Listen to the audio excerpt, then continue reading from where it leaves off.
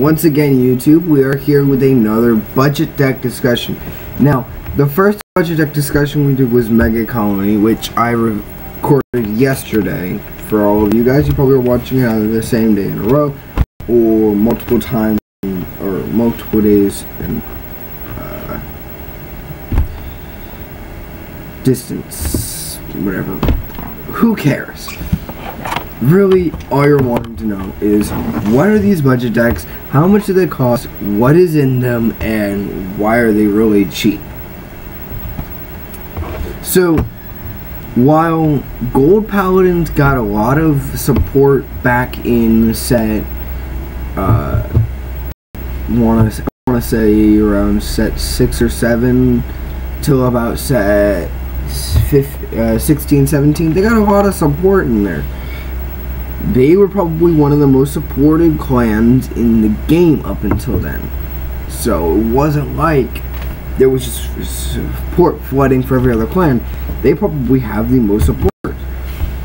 But we all of a sudden recently have started seeing a change. Gold Paladin got one set that it was supported in. Wasn't a lot of great support either, that's the thing. But it got some support.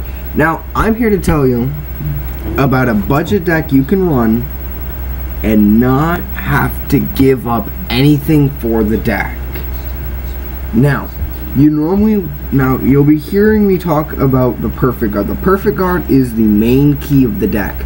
Normally, when I say a G deck, you're thinking, oh, you want to play the unflip perfect guard and everything like that. For this deck, you do not play the unflip perfect guard. You don't counterblast that much from what I've seen and with Gurguit's skill, you're really guarding from the top of your deck, so, and you're guarding with your cards from your field and from your deck.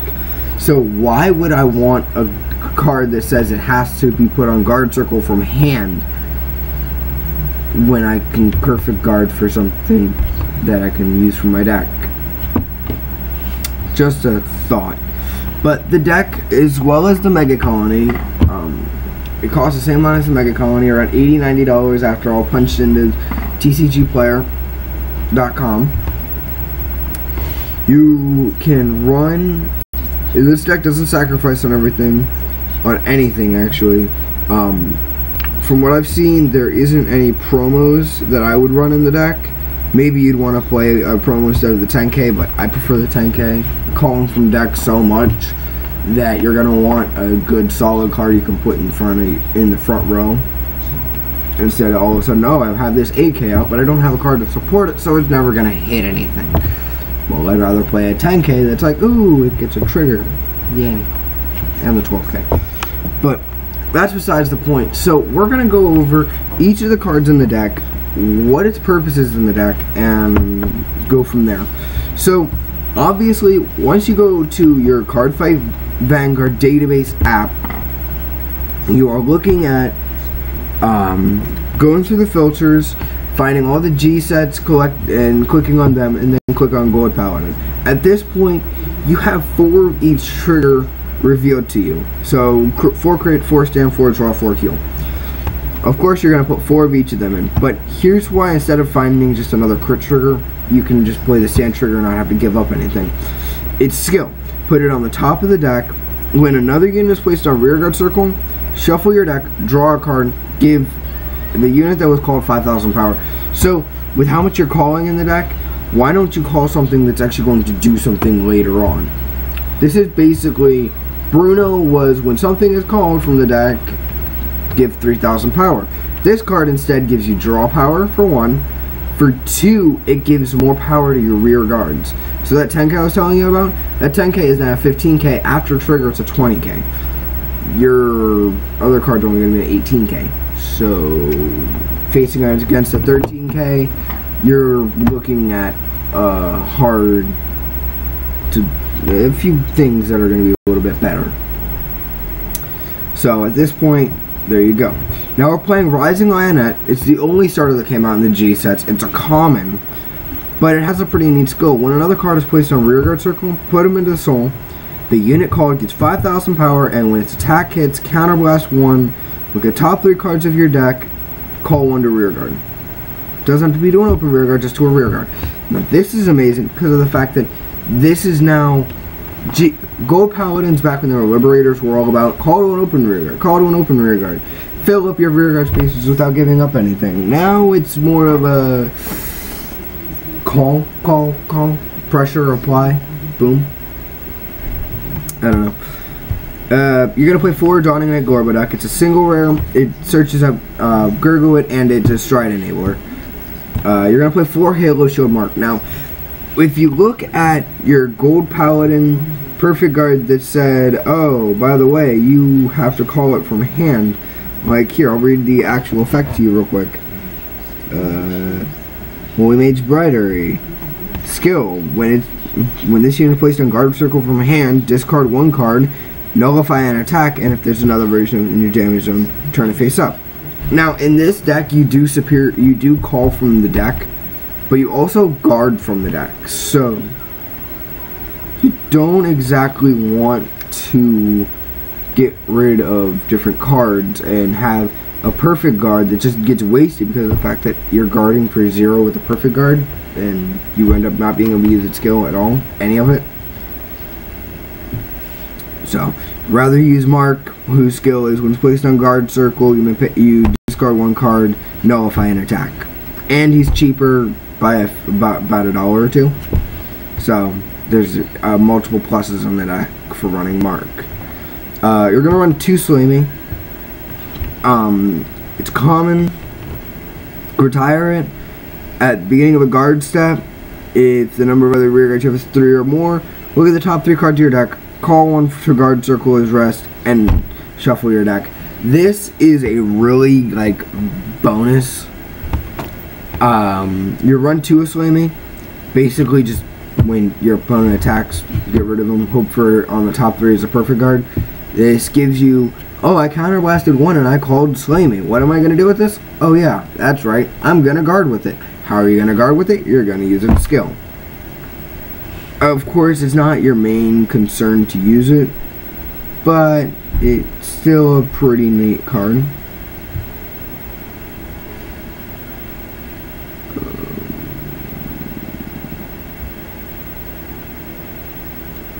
Let's see your forehead.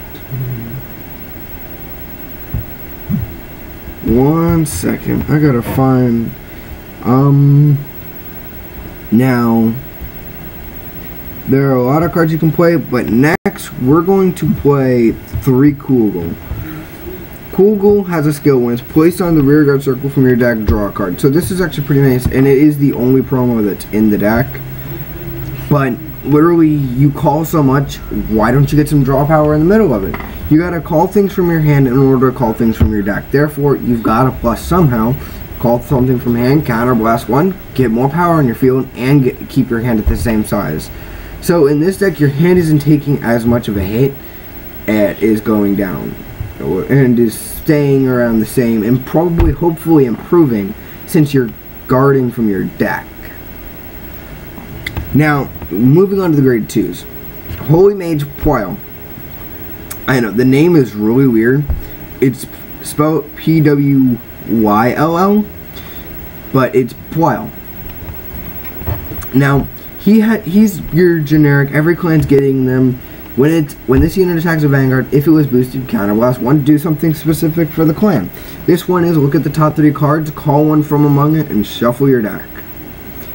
Pretty basic but unlike those other ones that needed to hit in order to do it, or needed a Liberator Vanguard in order to do it, and then you had to put them to the bottom of the deck, this one shuffles the deck up. I'm not too. I don't like the shuffling, and it doesn't require it doesn't require to call to an open rear guard either. So you can have cards in your rear guard, attack, attack with him, counterblast one, call another card to the rear guard. You don't need a rear guard. you don't have to have a non-existing rear guard in order to do it. You can have an existing rear guard and just call over it. Now, of course, you're going to put four of the 10k Knight of Dawnlight Jago. Um, he's also a common. Uh, you're going to play Cloten. Also, um, Pwyll. Holy Mage Pwyll is a double rare. So, just for those of you that don't know. Law-abiding Knight Cloten. He Generation Break 1 when he attacks 3000 power. This works really well with how much you call from the deck, you're going to want a nice like instead of a 9k attacker that's going to attack and have some weird skill that really won't benefit you in the long run. You want to have a nice attack, solid attacker that can attack. Next, we're going to have Lofty Head Lion. We're moving on to our grade 3s. This is a common grade 3, Generation Break 1. When another unit is called from the rear guard uh, to rear guard from deck, he gains 3000 power. This is only good on the Vanguard Circle, though, so he's a good backup grade 3 to run in case you can't run ride to your main grade 3 Sunrise Ray Knight Gurguit. But at the same time, a few drawbacks. Uh, he only gains 3,000 power, which, in my experience, 3,000 never helps anything. 5,000 helps, 10,000 helps, 3,000 is just a waste of time. Uh, then, but his second ability isn't bad. Counter Blast 1, Soul Blast 1. When you placed on Vanguard Circle, look at top 4 cards of your deck, call one from among them.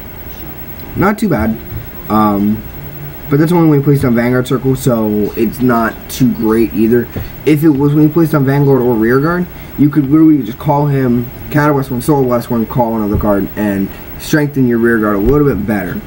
And that would be a top four. That would be great. You'd have four options to call to the rear guard, or you could just send them all to the, or, or you could just all shuffle them all into your deck. If you don't like the card, if you like the cards that you just sent to the bottom of the deck and you want to give them a chance to be in your drive check later, definitely use it. That his skill is definitely be useful, but because of the fact that it doesn't say rear guard, you can't use his ability there. Now, your main grade three, uh, and I was surprised when I saw that his price was was he was the, he's the most expensive card on the deck, and he's not even that expensive. His SP version is like twelve dollars. His triple rare is maybe four, maybe five dollars. So if you're looking to trade for a deck and you've got like an $160 deck, probably pick this deck up and something and some extra cards up. Not a bad idea. It's not a bad deck. But let's read Gurguit's ability. Uh, Counter Blast 1, Generation Break 2. Counter Blast 1, Soul Blast 1. At the beginning of your guard step that he's being attacked, we'll get four cards from the top of your deck, call one to guard circle, and shuffle the rest of the deck. So this one maximizes your possibilities for a heal trigger in your deck. It takes cards out of your deck and puts your heal triggers and shuffles them in. And two, it gives you a chance to get that perfect guard we talked about. So you can perfect guard from deck, you can shuffle heals, um, around your deck. You can shuffle more stuff around your deck. You can improve draw power. It's there's just a lot to it. Now, the next part is a little shocking because 2000 power does help as well, just so you know. But his next skill is when you stride, counterblast one, look at top four cards from your deck, call one, give it 2000 power, shuffle the rest of the deck. Now, this is pretty neat because 2000 power, let's say I call my 9k. I now have a 15 attacker. Normally that wouldn't be a good thing, but let's say um, I have my 10k. I need another 1000 or two just to attack my my opponent's vanguard for equal and make them have to throw out a 5k shield. Why don't I just throw out my uh, call it with Gurguit, give it have a 12k attacker and attack your vanguard, and you have to throw down a 5k shield less likely to guard against other attacks later. Now, moving on to the strides, I am not using any Scourge Point Dragon. I know most people would probably slap me for that, but him being a three or four dollar card compared to just running four of Cambell, it's a plus. It, yes, you. I told you you wouldn't have to sacrifice anything, but here's why because of the fact that when I call things from my deck, it's mainly because of the fact I'm using my Vanguard skill. Scourge Point is for decks that call from deck without requiring a Vanguard skill. This deck heavily relies on your Vanguard skill calling. You have two cards that call from your deck besides your strides. That's Gurguit and Pwyll. Everything else is uh, response to being called from deck power powers up when called from deck or something like that. Your grade four, uh, generic, 15k. When he attack, he gains the power of your vanguard. He's a stride, but his skill. This unit attacks a vanguard, look at five cards from the top of your deck. Search for one card from among them. Call it to rear guard. and shuffle them all into your deck and give the unit called 2,000 power. You had another chance to you stand your rear guard in your back row or your front row. Look at top five cards of your deck, call the one missing, give it 2,000 power. You have it strengthened up and another whole entire row attacking. Or you can stand one of your other rear guards, stand another, and have uh, two new attacks, depending on the power of your that you have already down. Now, here's where the deck really gets its call power. Let's say you're playing Kagero and they just nuke your field. You have no field whatsoever. You're literally sitting here with a Vanguard. Now, here's where Golden Dragon, Spearcross Dragon enters the fray.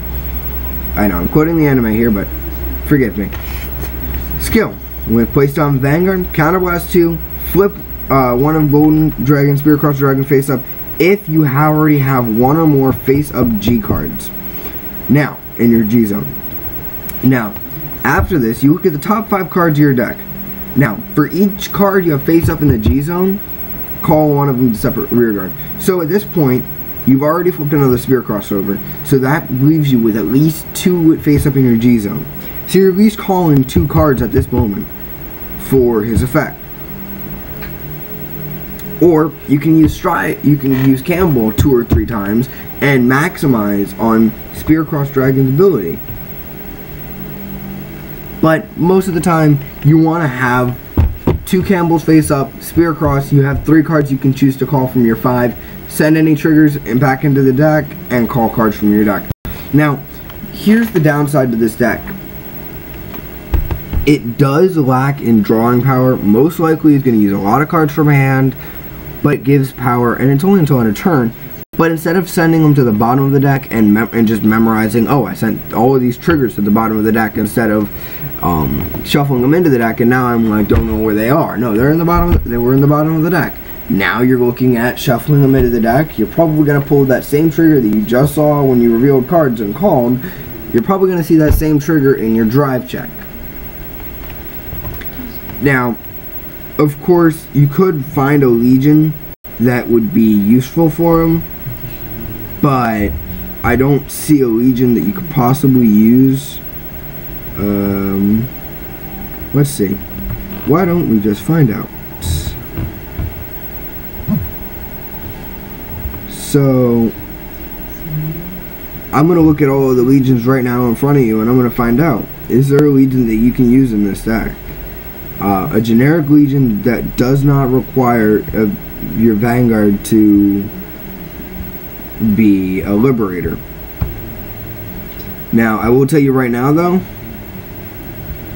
that that calls cards from liberator, that calls liberators, liberators, um, I'm pretty much just going down the list on Cardfight database and I'm looking at all the legions besides the Liberator Blue Flame Blue Flame Dragon because he's a 10k he has a, he legions with the 10k. Not a really interesting skill there. He gains 5k when attacking. Oh my gosh. Uh, Locust Liberator Asclepius requires you to have Liberators to counterblast. Okay. So, if you really want to and you are really itching to use a Legion, Murasame Liberator, Coil. Counterblast 2, Persona Blast, when he's in Legion, top 4 cards of your deck, call 2, give him 5,000, and put the other cards on the bottom of the deck. There's that bottom of the deck I was telling you about. And because of the fact that you have him in the deck, you're obviously going to run his mate, and his mate skill is, let's see here, where is he? Um,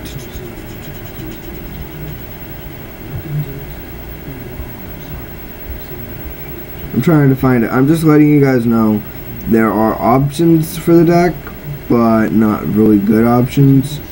Not options that I'd figure running. Locust Liberator Trihorn doesn't require, but it does require Vanguard to be in Legion. So if you want to run it because you feel like you're going to be Legioning more than you're going to be striding, go ahead, but Shadow Liberator Trihorn, when it's placed on rear guard from deck, if your Vanguard is in Legion, then choose two other units and give them 3,000 power each. Not a bad skill. Most likely you're gonna you're gonna not want to call him until all of a sudden you've you've stridden a few times. You've got a good formation. You're missing a card from your deck. Le Legion uses skill. get that out. But no matter what, the grade three you're gonna run is stride fodder, and you're gonna ride a Gurguit. So I'd rather just run the other guy, and then just discard discard the other guy for stride, and not have a grade two spot that's going to be clouded by a card that's not going to be used half the time. My personal opinion, you may decide that you'd rather have a card that you're going to use at least half the time rather than have a 10k that doesn't have a skill or anything, it just is there. But it's your choice. We're going to talk. So the next video is going to be a budget deck on Darker Irregulars. The Darker Irregulars isn't the cheapest deck because we already just went over the two cheapest decks that you can make without sacrificing anything. But the it is considerably cheap compared to other decks that I've done. So yes, the deck list will be in the description. I just described every part of this deck to you. So if you don't understand anything, leave a comment and I will try to get back to you on that as soon as I can. So this is Cardfighter Phoenix signing off.